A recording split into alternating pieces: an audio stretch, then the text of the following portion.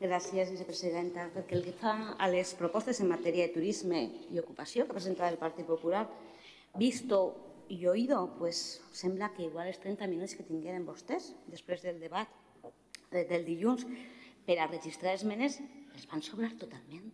A vostès els sobraran els 30 minuts perquè les, les propostes ja les tenien fetes i redactades i simplement van anar al registre perquè anem a veure, anem a veure. Proposen vostès un pla de recuperació del sector turístic de 150 milions d'euros.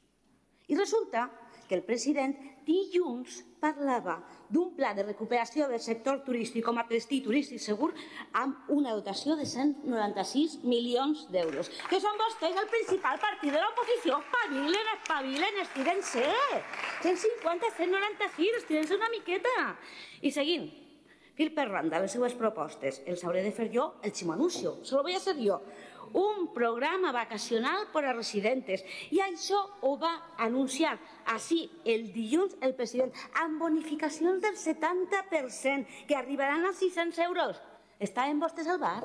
Estaven vostès al bar, senyoria, respecte a la proposta de permetre la compatibilitat de les ajudes per a autònoms i pimes. Així, tal qual.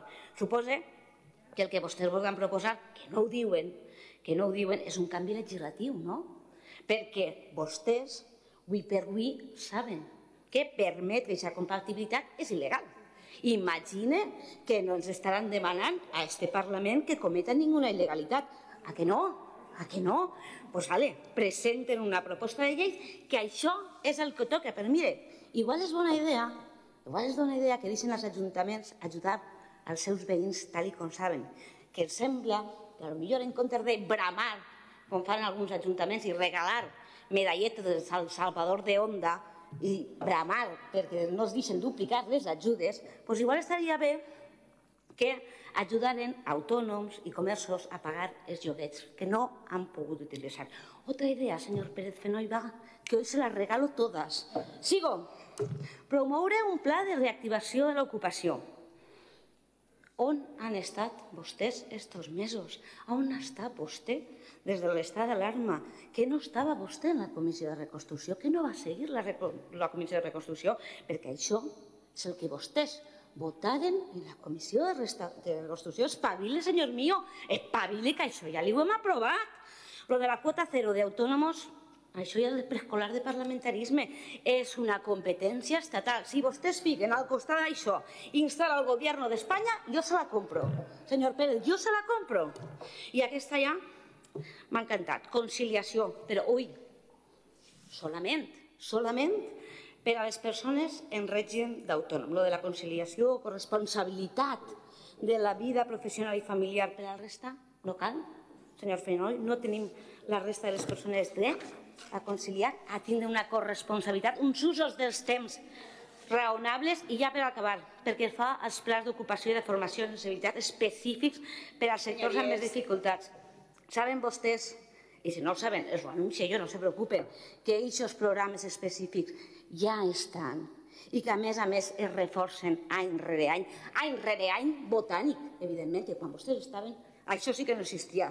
Senyor Pérez Fenoi, són les 5 i quart de la vesprada. Fa 26 hores que s'ha acabat l'estiu. I ja li vaig dir una volta a una companya seua. Cuelgue la toalla, cuelgue el bañador y póngase a trabajar. Muchas gracias. Gracias, señoría. Quan vulgui, señoría. Gràcies, presidenta. En 1965 eh, se va inventar una cosa que a vostè avui, senyor Pérez Fenoll, li haguera vingut de perles. El típex.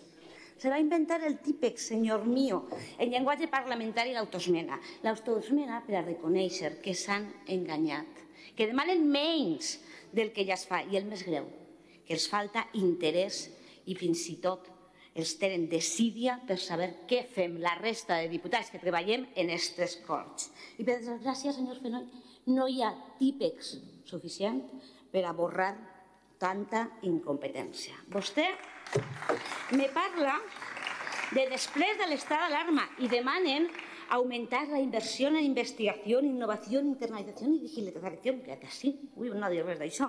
I li he d'informar que durant el confinament, on no sabem què estaven fent vostès, eixia a la llum el programa Digitalitza i Teletreball, amb més de 20 milions d'euros des de l'IBACE per ajudar a les pimes en aquest sentit. I un altre ximo anuncio, que a vostè se li haurà passat, tot i que me parla tant del turisme.